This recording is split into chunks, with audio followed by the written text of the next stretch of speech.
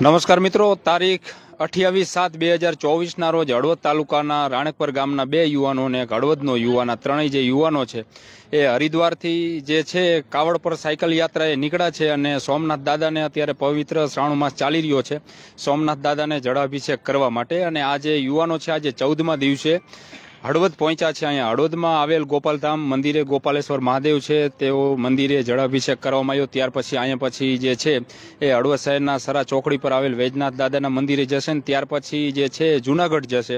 અને ત્યાર પછી સોમનાથ દાદાને જે છે, જળાભિષેક કરવામાં આવશે. આજે ચૌદમો દિવસ છે. આ ચૌદમા દિવસે આ યુવાનો જે છે, આ ત્રણેય જે છે, બે રાણેકપરના એક હળવદનો યુવાન એ સાયકલ પર જે છે, એ કાવડ લઈને નીકળ્યા છે. શ્રાવણ મહિનામાં સોમનાથ દાદાને રીઝવવા માટે આ યુવાનો આપણી સાથે છે. આપણે થોડીક તેઓ સાથે જ વાત કરી શું તમારું નામ પૂરું આખું દેજો. ભરવાડ ગોવિંદભાઈ મયાભાઈ. ગોવિંદભાઈ અઠ્યાવીસ તારીખે નીકળ્યા હતા ત્યાંથી સાયકલ ઉપર કદાચ હું એવું માનું છું હળવદથી જ બારસો સાડી બારસો કિલોમીટર હરિદ્વાર થાય. તો આ ચૌદ દિવસની કેવી યાત્રા રહી? યાત્રા એકદમ સારી રહી. બધા લોકોએ ખૂબ અમને સાથ સહકાર આપ્યો અને રસ્તામાં ભગવાનની ખૂબ કૃપા મળી અમને.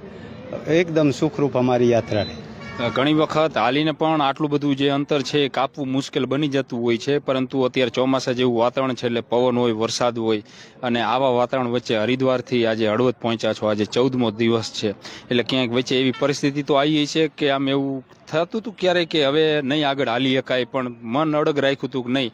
સોમનાથ દાદાના મંદિરે જવું છે જવું છે ને જવું છે, કોઈ પણ પરિસ્થિતિ આવે. હા, વરસાદ ત્રણ દિવસ સતત આવ્યો હતો. ત્યારે અમારે ચાલવામાં થોડુંક તકલીફ થતી એટલે સાયકલ ન ચલાવતા અને હાલીને નીકળતા. પણ ક્યારેય અમને એવું નથી થયું કે આપણે નથી જવું. યાત્રા અમારી કરવા માટે અમે મક્કમ હતા અને અત્યાર સુધી સતત મક્કમ અમારું બધાનું મન અમે એવું નક્કી જ કર્યું હતું કે હાલીને છેલ્લે પહોંચવું તો છે. પહોંચવું છે. એવો અમારો નિર્ણય નિર્ણય આવ્યો કે અઠ્યાવીસ તારીખે તમે અહીંથી ગયા ને ત્યાંથી પછી આમ નક્કી કરીને જ ગયા હતા કે આમ એવું સંકલ્પ લીધો હતો કે આ કોઈ બાધા હતી કે બસ ખાલી શ્રાવણ મહિનો ચાલુ થયો એટલે એક આવો સંકલ્પ લેવામાં આવ્યો કે ભાઈ આવું કરવું છે એમ? શ્રાવણ મહિનો ચાલુ થયો એટલે એવું થયું કે હજારો વર્ષ પહેલા ભગીરથ રાજાએ તપસ્યા કરી અને સ્વર્ગમાંથી ગંગાજીને પૃથ્વી ઉપર ઉતાર્યા. તો અમને એવું થયું કે આપણે અહીંયા બાર જ્યોતિર્લિંગમાં પ્રથમ જ્યોતિર્લિંગ સોમનાથ મહાદેવનું છે. તો આપણે હરિદ્વારથી ગંગાજીને કાવડના સ્વરૂપ સ્વરૂપમાં લઈ અને સોમનાથ મહાદેવને આપણે અભિષેક કરી. આવો અમને વિચાર પહોંચવાનો ટાર્ગેટ છે? આજે ચૌદમો દિવસ તો છે ગુજરાતમાં તો આવી ગયા છો એટલે જેટલું કાપવાનું હતું ઘણું બધું કાપી નાખ્યું છે. હવે બહુ લાંબુ રહ્યું નથી. પંચોતેર ટકા તો અમારે યાત્રા પૂરી થઈ ગઈ છે. હવે પચીસ ટકા બાકી છે. લગભગ અમે ચારથી પાંચ દિવસમાં અમારી યાત્રા પૂરી થઈ છે. સીધા હરિદ્વારથી નીકળ્યા એટલે ભરવાડ સમાજની ગુરુ ગાદી થરા ત્યાં આગળ જળાભિષેક કરાયો. એટલે એ કઈ રીતના આખા કાર્યક્રમો છે? એની માહિતી દેજો. અમે જ્યારે ત્યાંથી નીકળ્યા, એટલે એવું થયું કે ભાઈ આપણે ગ્વાલીનાથ મહાદેવ છે, એ આપણા ભરવાડ સમાજના ગુરુગાદી છે, એટલે પ્રથમ ગુજરાતમાં પ્રવેશ કર્યો. જે તે સમયે ભગવાન કૃષ્ણ જ્યારે પાંચ હજાર વર્ષ પહેલાં ગુજરાતમાં આવેલા એ વખતે ત્યાં આપણા સમાજના આગેવાનો અને ભગવાન ખુદ કૃષ્ણ ભગવાન ત્યાં હતા અને એ વખતે કૃષ્ણ ભગવાને શિવની સ્થાપના કરેલી. તો એવું થયું કે ગ્વાલીનાથના આપણે પહેલાં દર્શન કરી અને અહીંયા જલાભિષેક કરી અને પછી આપણી આગળની યાત્રા ચાલુ કરી. એટલે ગ્વાલીનાથે જળાભિષેક કર્યો. પછી આજે અહીં હળવદમાં ગોપાલધામ ને વેદનાથ. અને વૈદનાથ મહાદેવ. જે આપણે હળવદ છે એ સોટા કાશીનું બિરુદ મળેલું છે. એટલે હળવદ એટલે શિવની નગરી કહેવાય. તો એવું થયું કે આપણે સેન્ટરમાં છે વૈદ્યનાથ વૈજનાથ મહાદેવ તો ત્યાં દર્શન કરી અને ભગવાનના આશીષ લઈ અને જલાભિષેક કરી. હવે અહીંથી કેટલા દિવસે પહોંચવાનો કાર્યક્રમ છે સોમનાથ? હવે અમારે અંદાજે ચાર દિવસમાં અમે સોમનાથ પહોંચશું. પાંચાભાઈ તમારું આખું નામ દેજો કારણ કે હું તો ઓળખું મારું નામ પાંચાભાઈ ઠાકોર પાંચાભાઈ સૌસીભાઈ મારું ગામ મૂળ રાણકપર અને હરિદ્વારથી કાવડ લઈ અને એવું હું એક અટકાવીશ. કારણ કે આ બે યુવાનો છે આમ મારા બે ભાઈ છે ને. તમારું ભેગું યુવાનમાં નામ જોડી દીધું પણ ખરેખર તમારી ઉંમર પચાસ તમે ટપાવી ગયેલા હો સાઠ વરા. અને સાઠ વર્ષે તમે અહીંયાથી આમને જે અમે જોતા હતા હમણાં કે આગળ તો તમે હાલતા હતા એમ. સાઠ વર્ષે સાયકલ જે છે એ ચલાવો છો. હા જેવી ભગવાનની મહેરબાની કે કારણ કે મારી પહેલાંથી જ એવી લાગણી હતી કે હું સોમનાથ દાદાને જળ ચડાવી અને મારા જીવને તૃપ્ત કરીશ. અમે કામ વચ્ચે વાત યાદ આવી એટલે મિત્રો કરી દઈએ કે આજથી બે ત્રણ વર્ષ પહેલા અમે બધા સાયકલ લઈને રણુજા જવા નીકળ્યા હતા. સાંચોર તો માન પહોંચી કે એ પીપળીથી. અને ત્યારે પાંચા ભાઈના ગોવિંદભાઈની તો બધા સાયકલ લઈને પહોંચી ગયા હતા.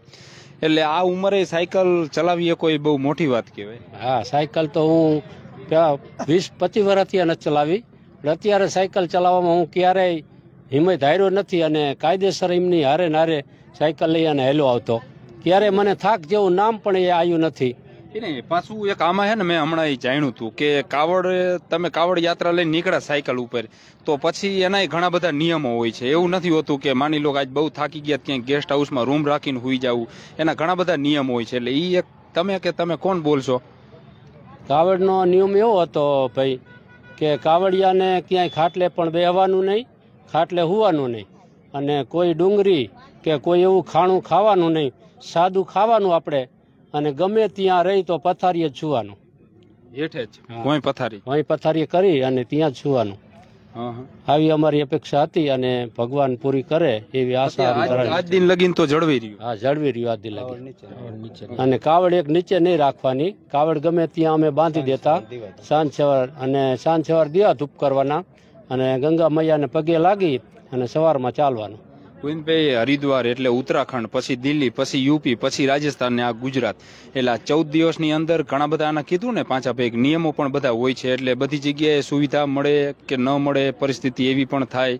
ક્યાંક એવો સો કિલોમીટરનો રસ્તો આવે તો પછી ત્યાં રોકાવું પડે. એટલે જમવાની આવી એની કોઈ વ્યવસ્થા એવી ન હોય એમ.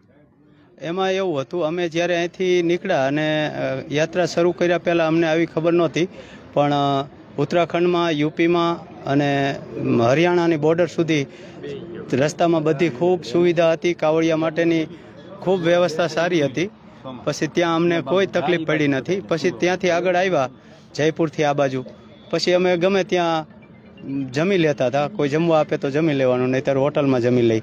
અને ગમે ત્યાં રસ્તામાં મંદિર આવે, ત્યાં રાત્રિ રોકાણ કરી અને સવારમાં અમે યાત્રા અમારી ચાલુ કરતા. જે એવું વિચારે છે કે આપણે પણ આવું કંઈક કરી તો એમનો ગોવિંદભાઈ તમારો શું સંદેશો રહી છે? જે કોઈને જવું હોય એને મન મક્કમ કરી અને શ્રદ્ધા રાખવાની. આ શ્રદ્ધાનો વિષય છે. શ્રદ્ધાથી તમે કંઈ પણ કાર્ય કરશો ને તો ઈશ્વર તમને કોઈ ને કોઈ સ્વરૂપે મદદરૂપ થઈ છે. પાંચાભાઈ અમારા વડીલ છે રાણકપર ગામના. ગોવિંદભાઈ મારા ભાઈ છે મોટા અને આ મુકેશભાઈ મારો નાનો ભાઈ છે. હાકી એકાણી સાયકલ કારણ કે બારસો કિલોમીટર એટલે આટલું કા- જવાનું સાડી તેરસો કિલોમીટર થાય તો આમ એવું થયું હતું કે હવે નહીં આ આકાય એકાય કે?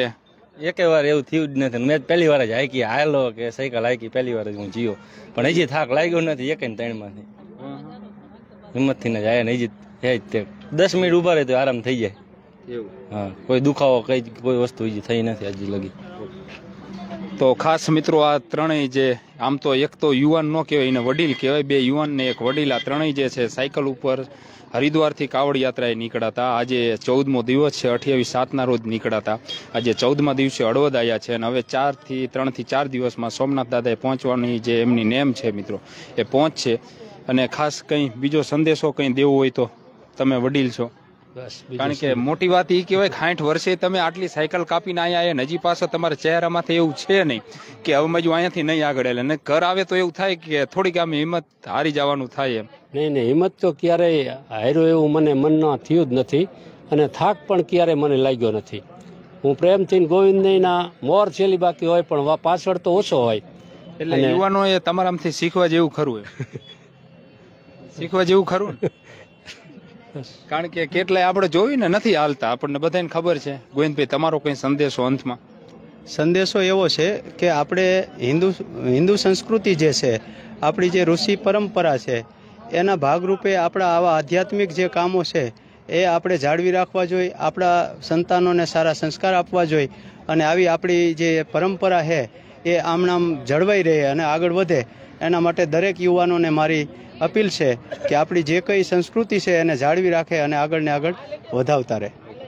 તો આપણી પણ મિત્રો શુભેચ્છા કે આમની જે કંઈ આ યાત્રા છે મંગલમય રીતના પૂર્ણ થાય. આભાર મિત્રો.